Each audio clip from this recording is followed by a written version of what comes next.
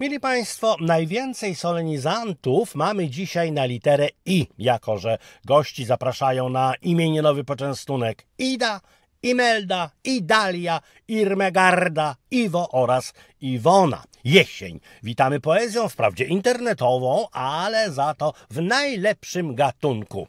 Idzie miesiąc wrzesień, przyszedł czas na jesień. Lato ciepłe się skończyło, plaże jakoś posmutniały, a bociany odleciały. Prasa. Ze starszych gazet cytujemy dziś poznańskie pismo Drogowskaz z roku 1930.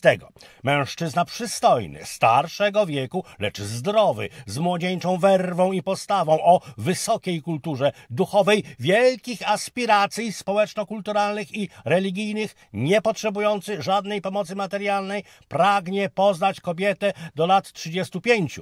Zdrową, albo ją wyleczy. Przystojną, niewielką, fertyczną, wesołą, śpiewną, z nogami prościutkimi, bo to znamie godności, z niebieskimi oczyma, bo to znamie szlachetności i z wielkimi źrenicami, bo to znamie szczerości i rozumu. Pragnie poznać dla ukojenia stęsknionego serca i serdecznie pokochać. Chorą wyleczy, by zyskać dług wdzięczności. Pragnie wyjechać z nią na zawsze w kraje południowe. Fotografia najnowsza za zwrotem i dyskrecją konieczna. Swoją również przyśle związek małżeński upragniony. Gospodarność konieczna. Długie włosy. Adresować pod stęskniony.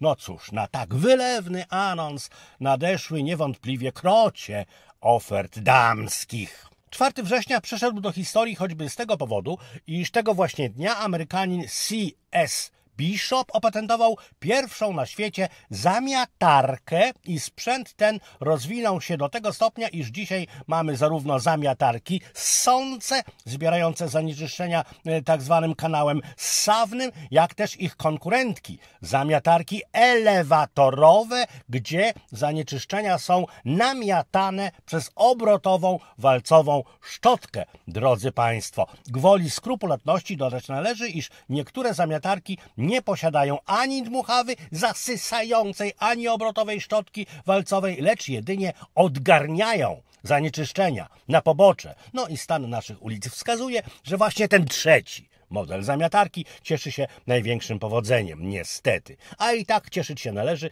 że zamiatarki nie poruszają się jak ta pierwsza z roku 1868, mianowicie przy pomocy zaprzęgu konnego. Może nie byłoby od tego czyściej, ale za to uciechy co niemiara, czego nie może przeżałować pogrążony w jesiennych smuteczkach i całkiem bez zaprzęgu Wiesław Kot.